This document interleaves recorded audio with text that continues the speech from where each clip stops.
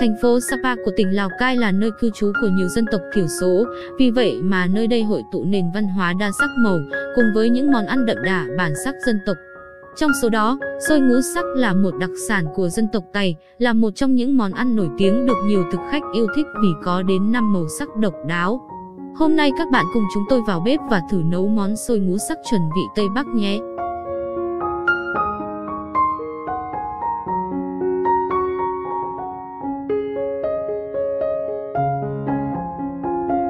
Nguyên liệu gồm có nếp, 5 lon, củ rền, bột trà xanh, bột nghệ, bột gạo lứt tím. Các bạn vo sạch gạo nếp.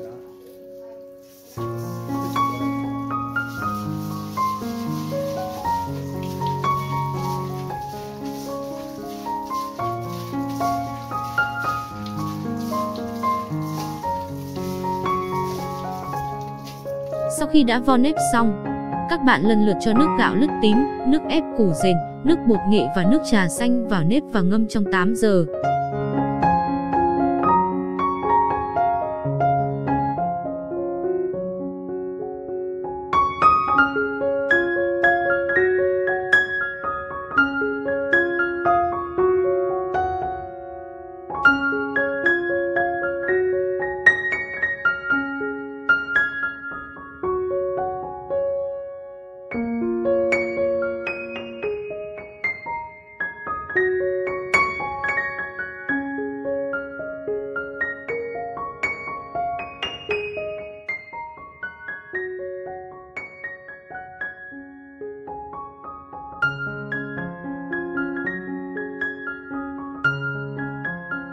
Sau khi ngâm nếp với màu tự nhiên trong 8 giờ, các bạn tiến hành bỏ nước ngâm nếp và chuẩn bị hấp nếp.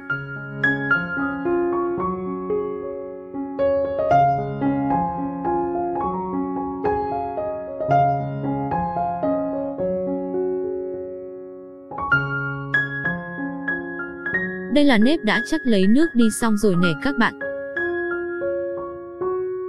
Các bạn cho gạo nếp vào sừng, chia ranh giới giữa các màu bằng giấy.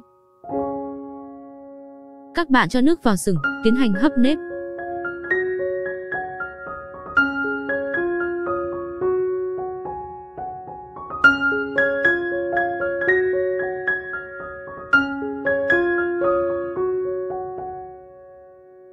Sau khi hấp 30 đến 40 phút, các bạn mở nắp chan đều hỗn hợp nước cốt dừa lên mặt sôi, hấp thêm 5 phút nữa là sôi chín.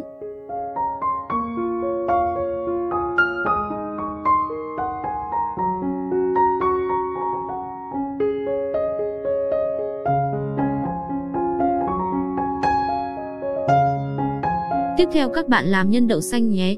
Các bạn ngâm đậu xanh, rửa sạch. Các bạn cho đậu xanh vào nồi và nấu chín, các bạn nêm vào một ít muối. Khi đậu xanh chín, các bạn nghiền đậu xanh và để nguội.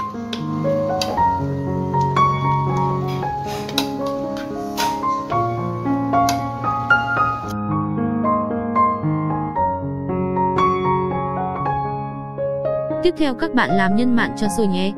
Chúng ta sẽ làm món đùi gà giam. Nguyên liệu gồm có đùi gà, hành tím, tỏi, đường, muối, hạt nêm, nước mắm và dầu hào.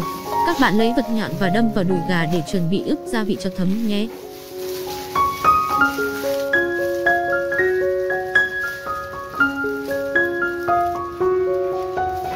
Các bạn ướp gia vị cho thịt gà nhé.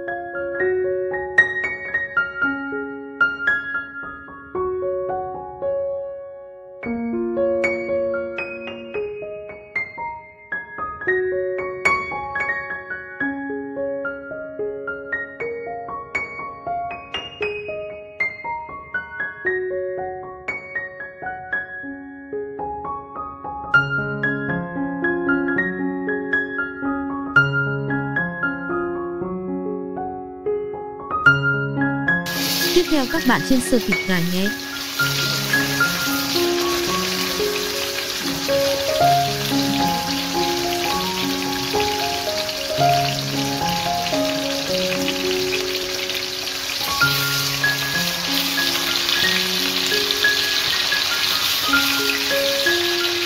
Các bạn cho nước đường vào và nấu cho thịt gà chín.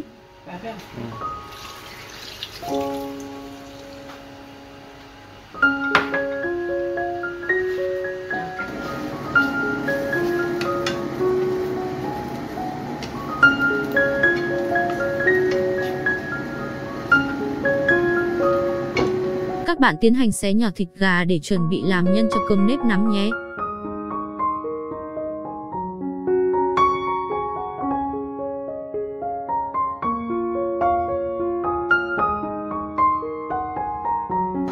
Xôi hấp đã chín rồi, chúng ta sẽ tiến hành làm xôi nắm nha các bạn.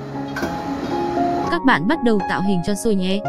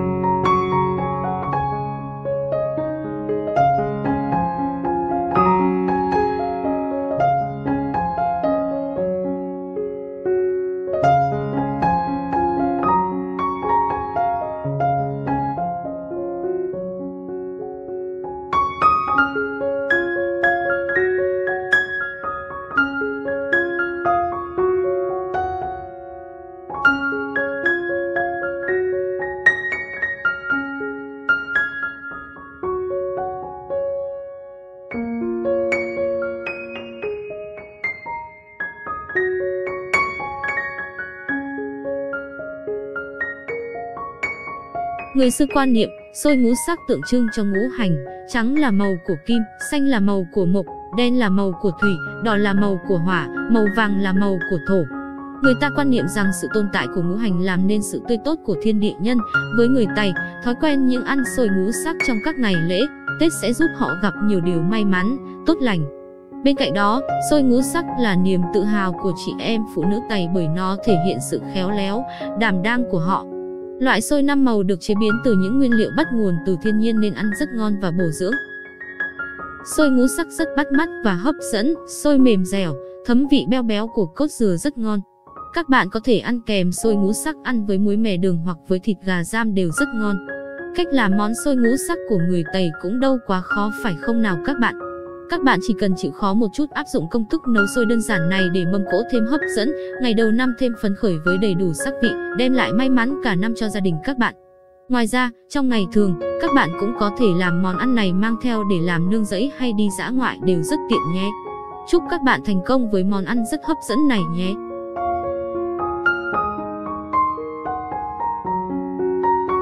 Cảm ơn các bạn đã xem video này của kênh Henry Food Channel. Các bạn đừng quên đăng ký, like và share để ủng hộ kênh nhé.